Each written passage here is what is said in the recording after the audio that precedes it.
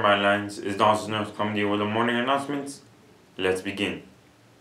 Is there a poem waiting to be written inside you? Do you want to get published or be a published writer? Students, now is your chance. Scholastic Publishing is holding a poetry contest with over 4,000 in prizes. See your English teacher for details and entry form. Both middle schoolers and high school stu- uh, students qualify to enter. Also, United Way Ambassador Marvin Castro will be collecting donations during B Day for the blog. Teachers, remember classes must donate $20 or more to participate for awards, such as pizza party or donut party. Also, community service are due soon, November 1st to be exact. Seniors, you must turn in your community service packet by November 1st to Ms. Perdomo. Without it, your hours will not be inputted. Also, high school students for opportunities to get community service hours see Ms. Perdomo. YMPA is also collecting for Irma victims and for Puerto Rico to get community service hours to help seniors and high school students.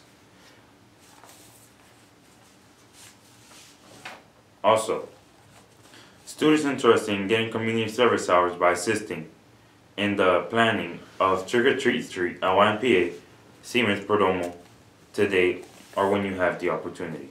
Also, nominations, nominations, nominations. Listen up, students.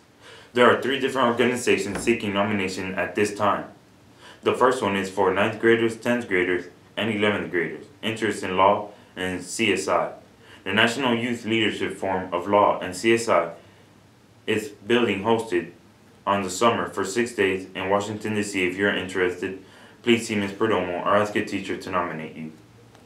Also, the COSIF Society is looking for incoming freshmen and rising juniors, that is in 9th or current 10th graders, to partake and be recipients of the COSIF Scholarship. This includes an inclusive scholarship to USF. See Ms. Perdomo for details. And last but not least, the opportunity for 10th graders. It is a program for intellectually curious and motivated 10th graders to apply for a full scholarship and participate in a six week summer program sponsored by the Cornell University and the University of Michigan. Also, any students interested in taking the PSAT, the PERT, Siemens. Perdomo ASAP. ABC to college success. How many college, colleges, universities can you name? Today we're looking for a maximum number of colleges, university, starting with the letter F, I believe. Name as many colleges as possible along with three well-known facts including whether or not the college's university had the mayor had the major you are looking for. Phone should be turned to Ms. Perdomo before the end of the day. Every day will change a letter daily. Also, last but not least, Dr. Michael M. Krop College Fair is Tuesday, October 24th, 2017 at MKHS Gymnasium at 6 p.m. and 8 p.m. Over 100 colleges, universities, and technical institutes expected open to all grade levels. Parents are invited. Now let's watch brief videos. First, for Hispanic Heritage Month, Puerto Rico. Puerto Rico is a Caribbean island in the U.S. territory. Its capital is San Juan. The currency is the United States dollar.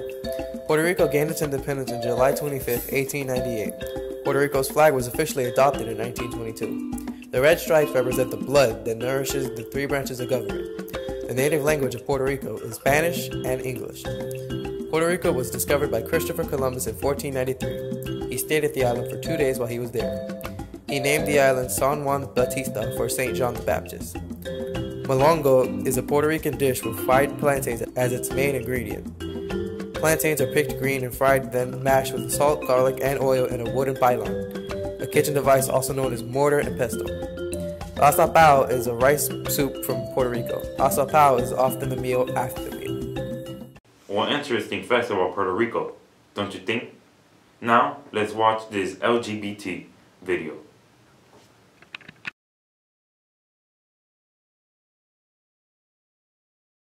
Alicia Garza, born in January 4, 1981, is an African American activist and editorial writer who lives in Oakland, California.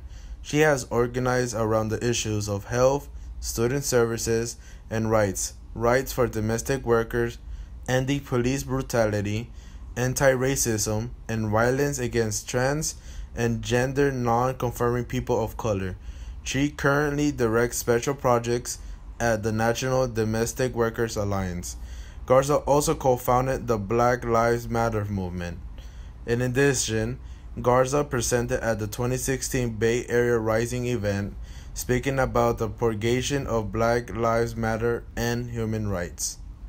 In addition, Garza self identifies as a queer woman, and her response is vertical and transgender. Well, Mighty Lions, this has been all for the morning announcements. Have a roaring great day.